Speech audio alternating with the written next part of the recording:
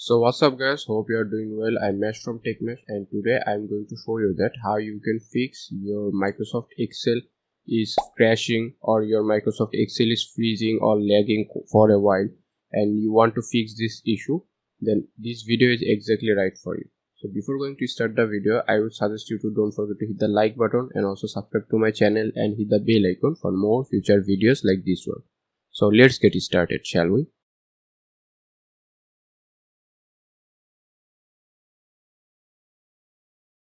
So at first what you need to do is just go to your Windows PC and search for apps and features. And then just go to your application. And then from your application list to search for office. And here you can see I have found my Microsoft Office. Just tap on this three dot icon and then just click on modify. And then just press on allow. And now here you can see a couple of options. So here just select repair option and then click on continue and now here it is saying the configuration progress.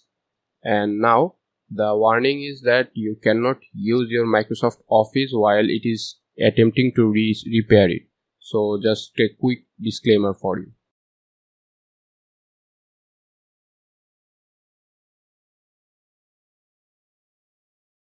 So here you can see that it is showing that the configuration for Microsoft Office is complete so now just click on close and then it is saying that in order to complete setup a system reboot is necessary.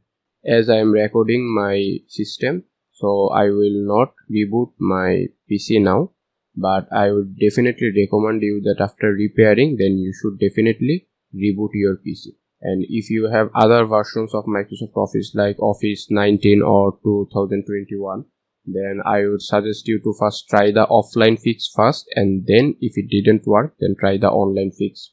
Okay?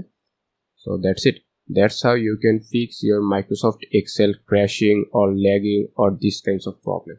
So if you like this video then don't forget to hit the like button. If you have any question or any suggestion then let me know that in the comment section below. And please subscribe to my channel and hit the bell icon for more future videos like this one so I'm Mash from TechMash and I'm signing out.